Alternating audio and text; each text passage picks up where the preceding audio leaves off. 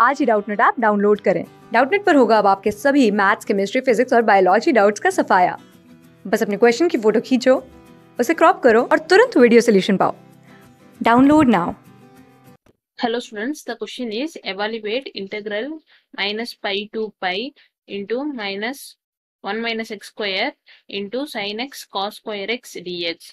So let's we evaluate this question. So let integral minus pi to pi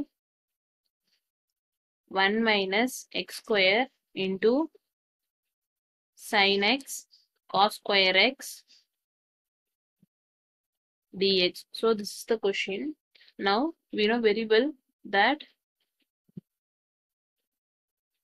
integral minus a to a f of x dx equal to 2 integral 0 to a.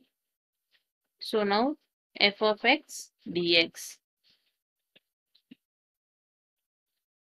So, f of x equal to 1 minus x square into sin x cos square x dx is an odd function as